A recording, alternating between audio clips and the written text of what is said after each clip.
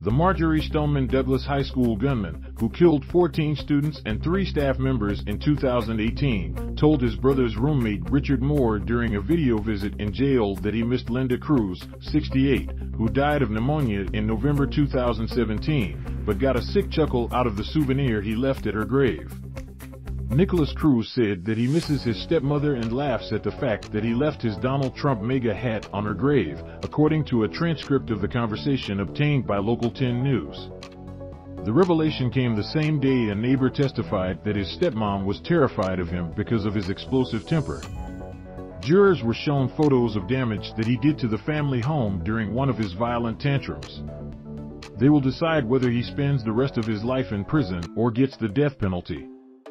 Parkland High School shooter, Nikolas Cruz, 23, seen here firing off a few rounds while wearing a MAGA hat Lynda Cruz, pictured here with a baby Nikolas, adopted him after she had several miscarriages. The gunman knew his adoptive mother was a liberal anti-type gun type, the Miami Herald previously reported, and he placed the hat in her casket to spite her. Due to the fact that his mother hated Donald Trump, he put it in her casket with her when she died and took a picture of her with the hat, the friend, Hunter McCutcheon, told a detective, the paper reported.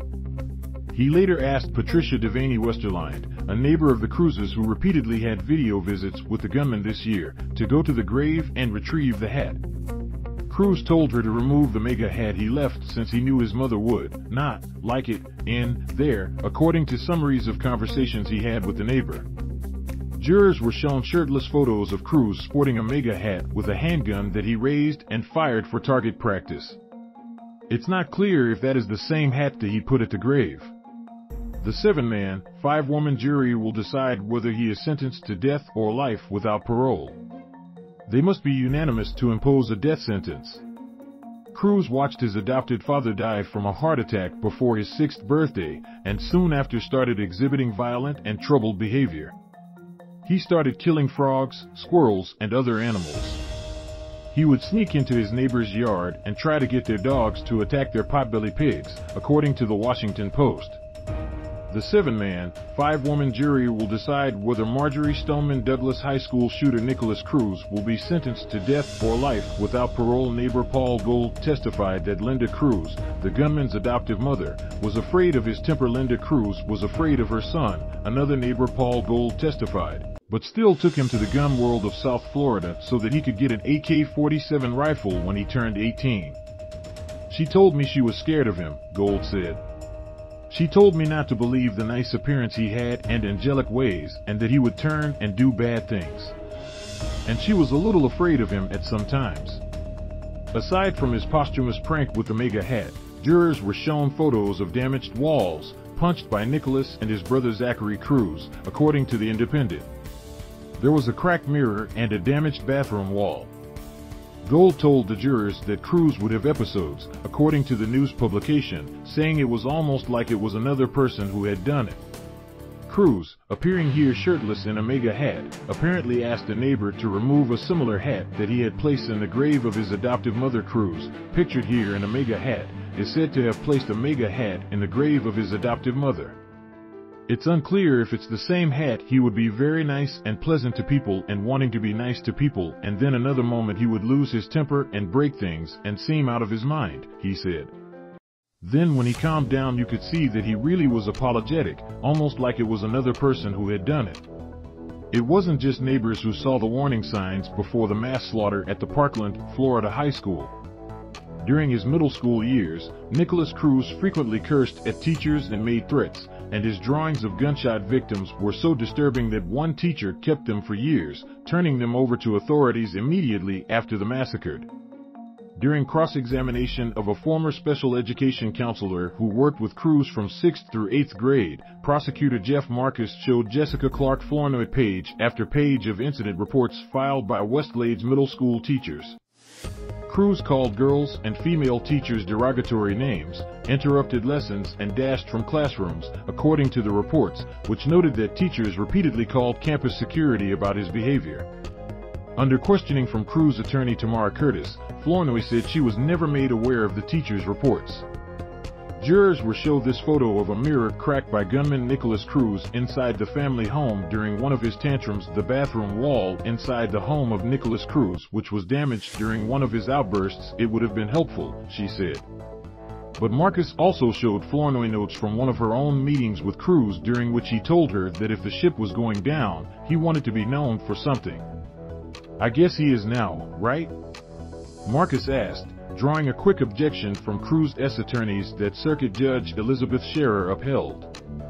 His public defenders are in their second week of presenting testimony about Cruz's troubled life from his birth to a crack-addicted, hard-drinking prostitute who put him up for adoption to a childhood fraught with emotional and psychological problems that witnesses said were never adequately addressed.